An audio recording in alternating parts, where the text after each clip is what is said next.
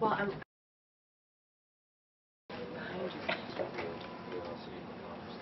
Right now, I'm calm and collected, but 24 hours ago when I first got the phone call, I mean, I was bouncing off the walls. For Andy Sandness, this is the life-transforming event he's dreamed of for years. And for years, a diverse multidisciplinary team of medical specialists has immersed itself in exhaustive transplant research and preparation to make it possible.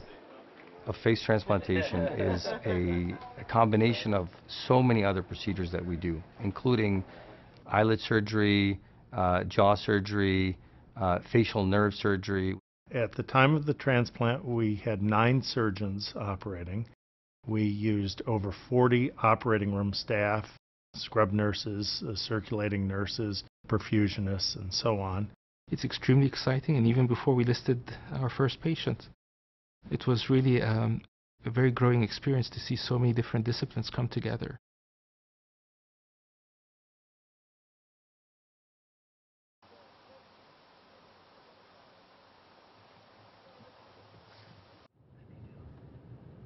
I've been to big cities and I've been to, you know, little towns.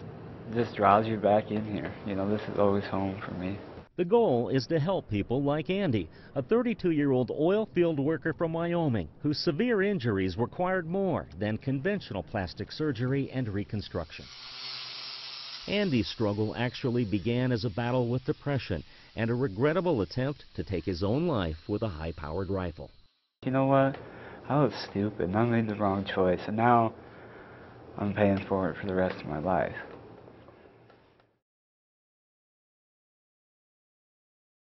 Ten years after that fateful act, however, Andy was given a rare opportunity. Only a few dozen face transplants have ever been attempted, and perhaps none as intricately challenging as this one, which involved virtually every tissue below Andy's eyes. The entire lower face, including the nose, the jawbones, the zygoma bodies, the skin all the way in front of the ear, down to the chin, and the teeth. Leading the team was plastic surgeon Dr. Samir Mardini, an expert in craniofacial and microsurgery, and director of face transplantation at the Essam and Dalal Center for Reconstructive Transplant Surgery at Mayo Clinic. He describes the operation as a series of highly complex, interconnected procedures. Among the most critical, meticulously mapping and preserving vital facial nerves on both Andy and the donor because we're bringing in all the functions of mouth closure, smiling, lower lid depression. Dr. Mardini says there were literally thousands of such steps to coordinate. A collaboration with medical modeling engineers contributed greatly to both the planning and the execution. Using this technology of 3D modeling, printing, a virtual surgical planning is extremely beneficial. They would have cutting guides for us that we would clip on the bones they would give us the exact location of the cut, the exact angle of the cut. So when we took the donor's face and put it on the recipient, it would fit perfectly. Meanwhile, other transplant patients also had a stake in the priceless gifts being provided by the donor of the face. The donor is a solid organ donor. And you don't want to do something that compromises the ability to obtain liver, kidney, heart, lung. Ultimately, the face transplant alone would require a surgical marathon of 56 hours to complete. Okay, just here, you take the mirror. After three weeks of healing, Andy was given his first glimpse in a mirror. Wow.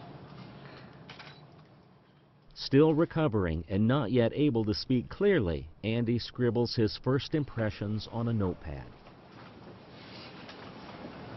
far exceeded my expectations. You don't know how happy that makes us feel.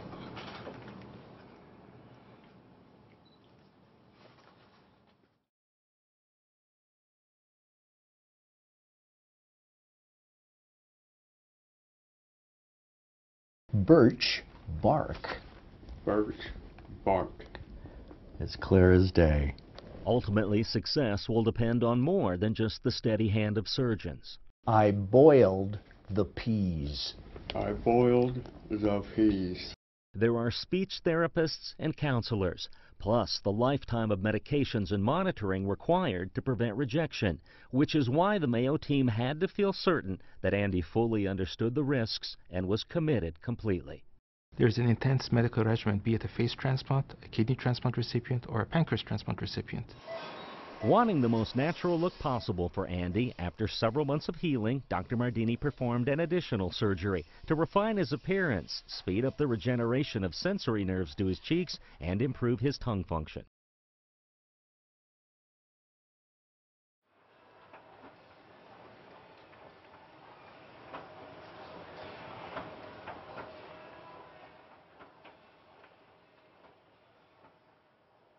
And I was absolutely blown away by the results.